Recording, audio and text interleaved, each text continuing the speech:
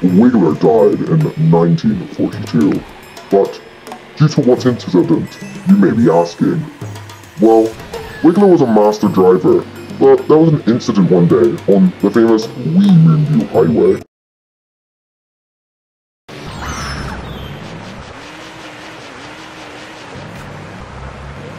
He got lost in the off-road. Wiggler had forgotten to turn on their map. What a blunder. And from that point onward, Wiggler was never to be seen again.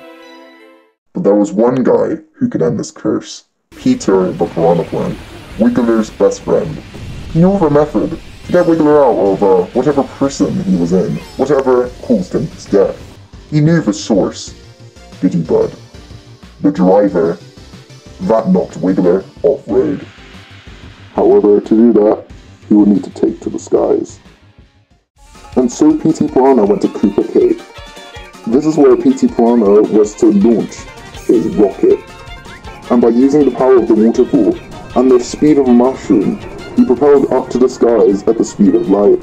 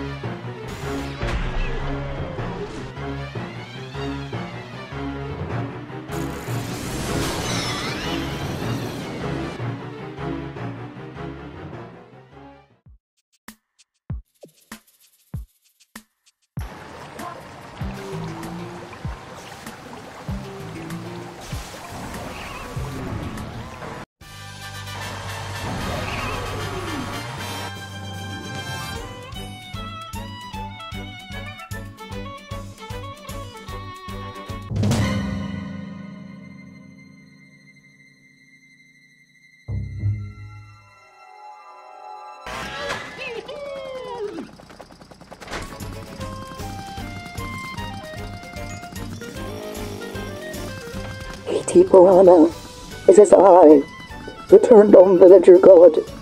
I've come down from the heavens, and I'm blessing you with the power of flight to save your captured buddy. Now go, go away, fly.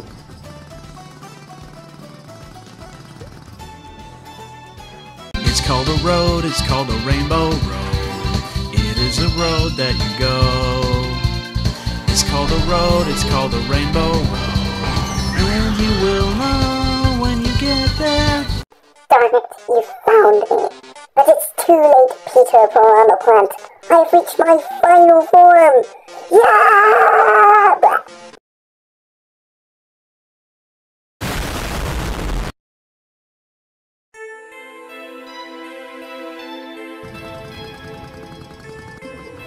Hello, Petey Piranha.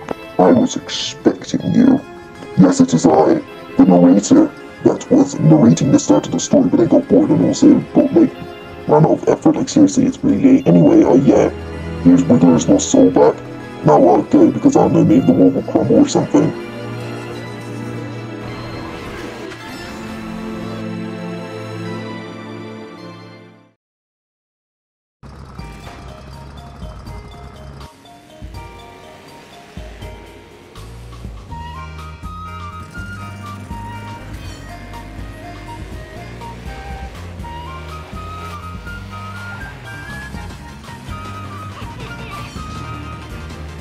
And so they lived happily ever after.